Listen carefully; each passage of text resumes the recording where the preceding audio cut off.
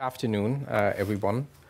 Um, as you've already heard a lot today, we at Deutsche Börse provide data and analytics for um, to support the many different uh, core businesses of our customers.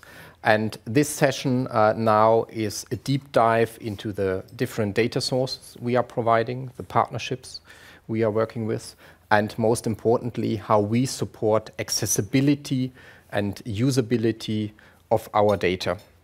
Uh, my name is Gerrit Marks. I'm heading the Pricing and Licensing Strategy unit within Market Data and Services. And as Ali Reza already pointed out right in the beginning of this event today, we hear again and again from our customers that uh, one key element of our offering is actually a broad offering and uh, offering via standardized delivery channels and standardized contracts. Um, this is actually what has a big impact on administrative resources on our customer side within the market data uh, market data management departments out there, and also within the uh, business units out there who are um, using our data. and uh, yeah As already said, we do support this uh, with partnerships with many data sources.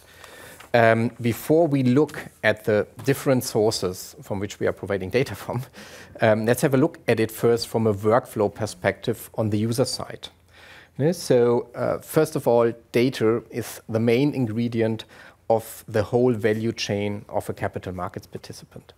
And um, it starts with uh, the issuance of financial products, um, the agreement of specific financial deals where data is needed.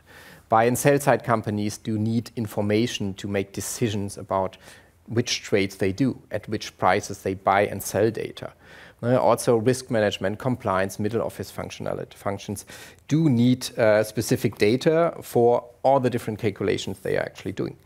Um, On the pre-trade, on the post-trade, in the post-trade phase, um, it's of course about clearing settlement of data. And I mean, finally, your holdings have to be put into custody. And for all these different purposes, data is needed. So um, if a specific uh, desk at your company um, has demand for any kind of market data, analytics, instrument, or reference data, and he might request it Um, from his purchasing department or from the market data management, or he might um, try to find it directly. So how can we support um, the information product search? First of all, you will find all the information you need on our website. It was just uh, mentioned again by Victor. You find there descriptions, you find data catalogs, descriptions of content of our products, Um, the different sources we provide. We have our price list and product list available, uh, where all the different content can actually be found. Um, if you have found the data you need within our offerings, uh, then I mean the next question is, of course, how can I get access to the data? How is the technical feed? Uh, how is the How does the technical delivery work? Um, we at MD&S, we provide specific normalized feeds, but we also um, work with many authorized vendors. And um, I really want to point out here that we are working, partnering together with more than 400 vendors that are able to provide our data, and these relationships are, of course, very valuable for us. And this is uh, also, from our understanding, very uh, valuable, of course, for our customers to have a specific Um, delivery channel that is tailored to the need of the customers.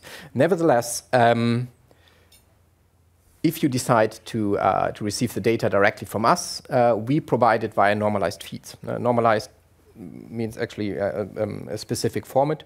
So different data sources, no need to to, to implement, to develop 10 different feed handlers. And um, on the real-time side, CEF is our main data feed. Leased line feed, uh, also available in co-location. Um, quite low latency solution. Uh, more than 20 different data sources are available via the CEF data feed um, on the real-time side. And also, as already mentioned, elaborated by on by Sven, um, we have recently introduced the Cloud Stream as an alternative, a more simple way to to get access to data, standardized WebSocket API. And yeah, you do hear again and again, standard. Standard, standard. and um, this is actually yeah, the way we are trying to to help to make it easier, to make the accessibility, to improve the accessibility of our data set. our analytics and historical data, we've already heard about that before. I mean, we have our S7, uh, S7 platform, but um, our Deutsche Börse data shop is actually the place where you can find all the data sets that we are providing on um, in terms of historical data and analytics, um, also including subscriptions. Um, so um, now you have the data, but depending on the uh, type of data and the purpose uh, where we want to use the data, we all know that a license is required. We do provide our data via um, specific standardized licensing framework, via one contract actually. And this is also where we, where we see one of the benefits. Um, on the real-time side, our licensing contract is a market data dissemination agreement. It covers four different license types, uh, redistribution, display usage, non-display usage, and we have a specific uh, license type for CFD data usage. So this is um, the way how vendors as well as end users can, can license their data. Um, pricing is um, either based or is either a lump sum fee or it's based on the number of accesses or the number of devices, which is actually the number of technical accesses.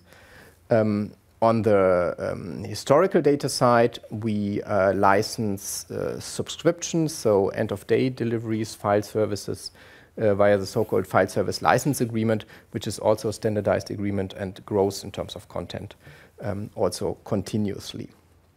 Um, what these standardized frameworks um, in addition um, bring is, of course, first of all, standardized reporting requirements, reporting requirements, meaning uh, standardized file, standardized uh, billings, one fee model, one invoice. So these are all the advantages here. And we also um, um, give access, so all our licensees get access to MDS Interactive, which is our data license management tool, where you can see all the licenses or the, or the data products you have already ordered. You can order new products.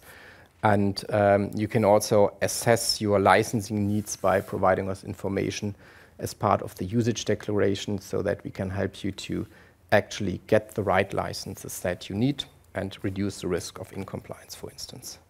So um, now let's look at the different data sets. Um, as said, we at DBAG, we do provide data from more than 30 different exchanges and other sources. What is not well known, I mean, apart from the fact that it was mentioned quite a lot today, is that we do not only provide data, um, our proprietary data, so data from DB uh, Deutsche Börse Group internal trading venues and exchanges, um, but uh, we also um, combine it with uh, data provided by a lot of corporations. And um, due to that, to, due to our partners, we are actually able to cover quite a broad range of asset class from equities, fixed income, commodities, uh, spot derivatives markets, um, and even most recently also crypto markets, where we also already heard a lot of today. Uh, in terms, uh, we, we do have the focus on exchange data, definitely. Um, nevertheless, um, index data, ESG data is coming on top our well-known index families, DAX and STOXX, are, part of our offering, but also ex uh, external index providers. Analytics that is developed um, by our um, quantitative, um, quantitative analysts and our data science. Reference and static data um, is also part of the offering we provide um, where um, I want to point out that we will have, uh, after this session, also some dedicated session on specific topics in that range, ESG, WSS, and all our reference data offerings. So please uh, stay tuned to also listen to that. um, this now is an overview of the different corporations um, we are working with, uh, the different data sources we are working with. And as said, it includes a lot of Deutsche Börse Group entities, but also different partnerships we have in, place. Um, there's, first of all, um, the European spot markets, the, the equity markets in Germany with Xetra and Börse Frankfurt, but it also includes the Malta Stock Exchange, the Bulgarian Stock Exchange, TradeGate Exchange, German regional exchanges. We do cover the most important European derivatives market, Eurex, of course, including Eurex Repo, um, our two uh, highly uh, growing and high demand markets in the commodity and FX space, uh, EEX, European Energy Exchange, and 360T, are also part of our offerings. Um, and uh, yeah, on top, we have quite recently expanded our footprint also in South America with the cooperation of uh, the Mexican with the cooperation with the Mexican Stock Exchange and the uh, Stock Exchange of Santiago de Chile. Um, in the Asian markets, within our licensing framework, you get you can license Pakistan Stock Exchange, BSE India, just to name a few. And as I said, um, what's the real difference here? Um, there's no need to have a specific contract with the data sources mentioned here. There are actually two exemptions, but most of it is under, under one license framework. So uh, yeah, that's the real difference that only one contract is needed and the one licensing model um, is, is, is relevant for us. So yeah, let me conclude um, with the benefits for our customers. Um, because I mean, we, we decided to go beyond our proprietary data due to the fact that our customers were yeah, demanding um, more data from us and due to the fact that we actually wanted to make it easier for our customers to use and get access to the data. Uh, and as said, this is a standard license agreement, the standard contract, the standard fee model that helps to reduce internal administration efforts on the client side, that makes it easier to access the data and easier to manage the different, uh, the different data sources that are in place. Um, so this is actually um, what I wanted to say. Thank you very much. And yeah, we do have at least some time for questions. So if there are any questions, please feel free to ask. Yes, please. Somebody coming with the microphone. Um, a short question from me. Could you elaborate a little bit on how the process of onboarding a new partner looks like and what would be the steps in that process? For example, if you're in negotiations with another exchange and want to add them to your product palette? Mm. Um, yeah, I mean, first of all, um, deciding about new partnerships and corporations is based on demand by our customers or by the customers of the corporation partners. So this is really a customer-driven approach. And I mean, honestly, we have seen, we are talking about more than 30 venues. And uh, we are totally aware of the fact that there are some vendors out there that probably provide thousand sources. So the, the demand by our customers and the fit, we are looking at, at partnerships that provide best fit, but in terms of um, value add to our customers. No, that's the, the most important thing. Um, of course, in the back, um, or yeah, in, yeah, in, in the back end, um, there's a lot of work to do a normalization of technical data feeds, of course, involves bringing together the different, the two different yeah, existing data sources in, into one consolidated feed. Now, this is where our experts come in from the technical side who, who are going to, to normalize that feeds. Um, I mean, other than that, of course, it's, uh, it's, a, um, it's a topic about, yeah, br bringing together the interests of the two parties, but um, it's also not, yeah, not very complicated. So in essence, um, it's uh, yeah we decide who we want to work with. Other parties do approach us uh, in terms of partnerships, and then yeah we just go for it. Any other questions? Um, Gerrit, I've got a um, I've got a question for you. Um, I'd like to follow up on you, you touched on on on um, on a number of issues during the course of your presentation. But what I want to do is try to kind of get a sense of um, we know that the the data industry is incredibly competitive right now. It's never been more competitive. A lot of firms are offering very similar services.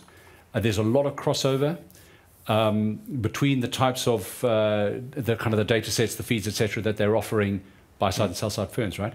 So my question to you then is, um, against a backdrop a backdrop of incredible um, uh, competitiveness in the marketplace. What is it? What do you see as special about um, Deutsche Börse's kind of uh, data offering that you think kind of separates it from some of the other players? If you can kind of summarize what you think makes uh, your organization kind of uh, better, I suppose, or more competitive, or uh, slightly different, more compelling mm. from a, um, an end user's perspective. Mm. Yeah.